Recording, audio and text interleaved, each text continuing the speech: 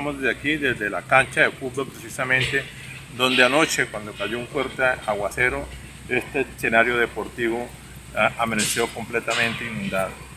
Eh, son cosas que han ocurrido hace muchos años, pero que esta vez se ha visto mucho más crítica la situación debido a que en la parte de arriba se está construyendo el parque interactivo, lo que se llama la mega biblioteca, y la tierra que está acumulada ya cada que llueve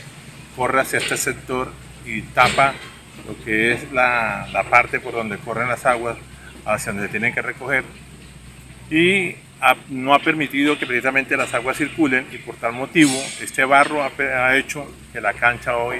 haya amanecido inundada. A esta hora pues ya ha bajado bastante la inundación. Esperamos eso sí que, que se pueda construir muy pronto el multipark de la esperanza hace parte de la Villa de la Juventud para que esta problemática que ha afectado a la cancha por muchos años se pueda ver, eh, digamos, solucionado esta problemática como tal.